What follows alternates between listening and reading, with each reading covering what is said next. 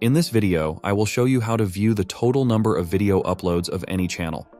Do you want to make $500 a day on YouTube? Check the first link in the description. When visiting a YouTube channel, you might notice that the number of video uploads is often rounded up, for example, displayed as 10k videos directly on the channel's homepage.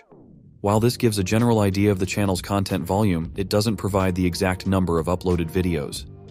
The actual number could be slightly more specific, like 10,307 videos, offering a clearer insight into the channel's activity.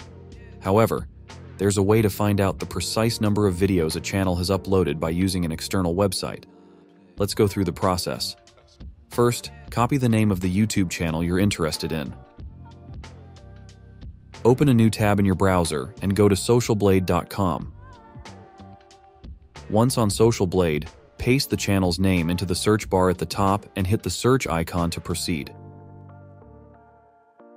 Social Blade will then display various statistics about the channel, including the exact number of video uploads, such as 10,412 videos in our example.